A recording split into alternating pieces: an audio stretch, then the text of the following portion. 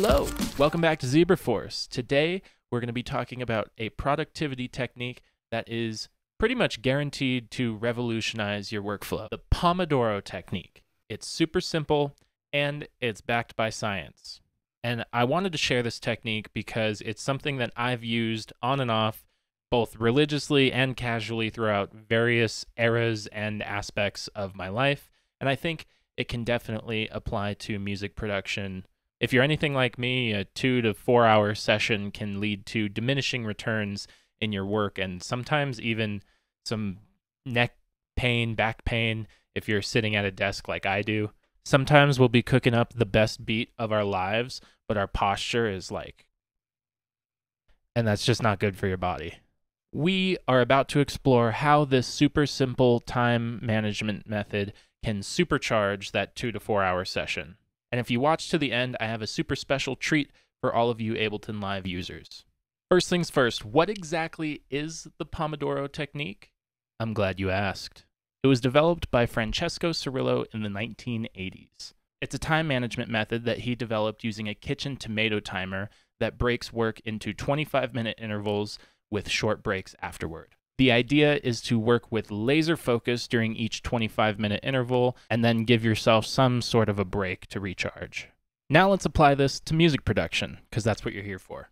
Imagine you're about to start a new track and you're staring at an empty project file. You have lots of ideas in your head and you want to get them all down, but before you know it, hours have passed and you haven't really done anything. Sound familiar?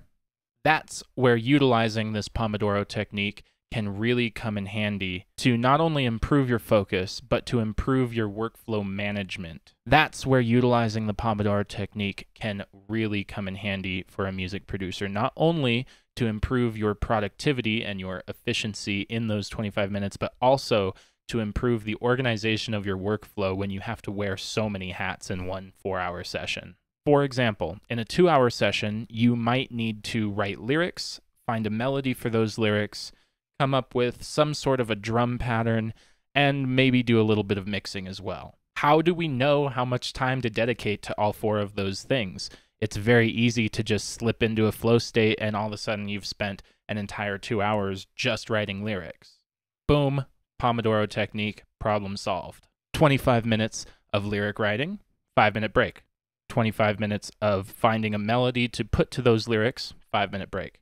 25 minutes of crafting some sort of beat, you know, getting the rhythmic flow together, five minute break. And then you probably have a good four bar loop to mix. So spend 25 minutes doing that, take another break. Obviously, sometimes you might want to dedicate a little bit more time to one of those tasks over another. This is just an extremely basic example of how you could use the Pomodoro technique to organize your workflow. I think having a tool like this in your arsenal is super valuable when you come across a day where you have the time to create, but you just don't have the motivation and you need to convince yourself to get started. It's a great way to keep things moving when you need them to, but your mind or body just isn't following along.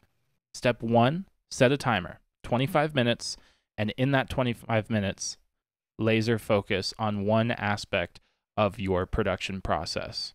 Eliminate distractions, silence your cell phone, do whatever you need to do to make that 25 minutes beautifully productive. The Pomodoro technique encourages deep flow state level work. And finding that flow state is crucial for making progress if you're only giving yourself those 25 minutes. Every time I do this, I'm amazed at just how much time sending just like two or three text messages can take away from my 25 minute workload. The goal is a flow state, so eliminate distractions. Step two, after that 25 minutes is up, take five minutes to relax and recharge, whatever that means to you. I prefer to do some exercises during those five minutes, maybe some push ups, some jumping jacks, whatever, just get the blood flowing. I particularly like to do some neck stretches. You know, we're cooped up in this weird position while we're focused on a computer, so it's nice to just loosen up the joints, loosen up your body. I'm also a big fan of uh, doing some of these hip psoas stretches. I'll put a diagram on the screen. Those are really great to reverse the effects of sitting down at a computer for long periods of time. Some people in the trendy health and wellness world call this exercise snacking. And it's actually proven to be really great for your mental and physical health to just take small little pieces of your day and throw in a few exercises. Next step rinse and repeat. After your session is over, start another timer, get back to work. Honestly, you'll be amazed at just how much you can accomplish in 25 minutes of pure focus. Traditionally, it's recommended to take 15 to 30 minute breaks after every four Pomodoro sessions. I don't know if there's any science behind this. I'm pretty sure that's just a general rule of thumb so that you can avoid burnout. But if there is a science behind that and I just don't know about it, let me know in the comments. I would love to read about it. And there you have it the Pomodoro technique as related to music production. By harnessing the power of focused work and strategic breaks, you can really level up your stage in creativity and efficiency of your workflow. But as promised, this is not the end of the video. I have one special comment for all of you Ableton Live users. This is not something that I created on my own, but it is something that I use pretty regularly when I'm not working on a YouTube video and I'm just in the studio alone. It's a simple Max for Live device that you can just put on an audio track, and it's a Pomodoro timer. So you don't have to use your phone and potentially be distracted by uh, social media or notifications, that sort of thing. And it's totally free, so you don't have to buy a kitchen timer. And there's nothing cheaper than free. So I wanted to share that with you guys. It's a Max for Live device. Link in the description. Download it and uh, use it. Let me know what you think. Remember, the key to progressing in music is not only in musical ability, it's also very reliant on discipline and time management.